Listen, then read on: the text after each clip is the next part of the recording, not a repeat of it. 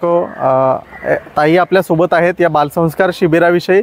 प्रथमतः आपण त्यांचा परिचय घेऊया आणि त्याच्यानंतर या बालसंस्कार शिबिराविषयी आपण माहिती द्या. रामकृष्ण हरी मी सौ नेत्रबाबा नितीन पाटील. तीन वर्ष झाली मी आता कीर्तन करते. या बालसंस्कार शिबिरामध्ये राहूनच कीर्तन शिकले.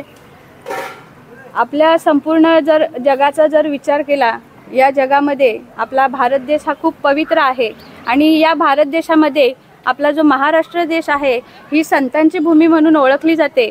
आणि स- या संतांनी जे वाङ्मय आपलं जे बनवलेलं आहे ज्ञानेश्वर महाराज आणि तुकोबाराय आणि म्हणजे सगळ्या संतांनी जे वाङ्मय बनवलेलं आहे जे साहित्य बनवलेलं आहे आता गीतेचा जर विचार केला ज्ञानेश्वरीचा जर विचार केला तर पूर्ण जगभरामध्ये म्हणजे त्याचं लोकांनी आता अनुकरण चालू केलेलं आहे. आणि त्यानुसार सगळे लोक वागत आहेत आता हरे राम हरे कृष्णाचा आपण जर विचार केला तर बघा पूर्ण म्हणजे गीतेचं आपल्या म्हणजे महाराष्ट्रामध्ये आपण ही भू संतांची जी आपली ही भूमी आहे आणि त्याच्यामध्ये आपला जो हा वारकरी संप्रदाय जो आहे तो पूर्ण जगभरामध्ये आता पसरत चाललेला आहे.